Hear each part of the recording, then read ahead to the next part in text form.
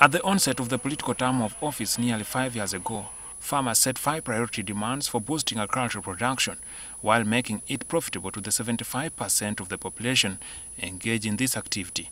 Accordingly, each of the political parties competing to capture power had in their manifestos 53% of what the farmers wanted to be addressed. The group is dismayed that not even half of the priorities were achieved. We got 42% of all the issues that were raised were at least being addressed by the current government, that is NRM. The claim is that big farmers have benefited the most, leaving out the majority, about 68%, in subsistence farming. The water that was provided was for big commercial farming.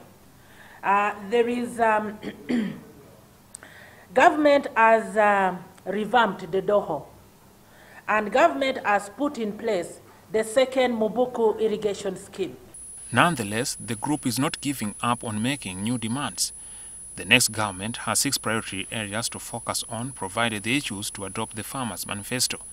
Among these is harnessing water production, improving access to quality agricultural input, agricultural extension services, research and access to financing.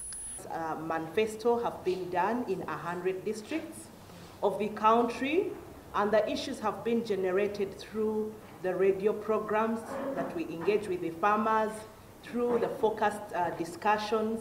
Engendering the capacity of local artisans is a suggested alternative for enabling small-scale farmers to tap into mechanized agriculture.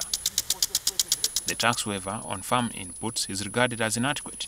If you look at some of these technologies that we're talking about, and you're talking about 60, 68.9% of the farmers of this country being uh, subsistence farmers, meaning they largely grow crops for, for home consumption.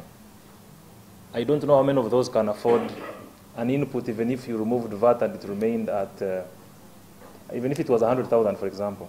Political parties looking to take government are set to launch their manifestos and it remains to be seen how much of the farmers' demands will have been considered. Jackson Onyango, NTV. If it needs to put more money, we can put more money.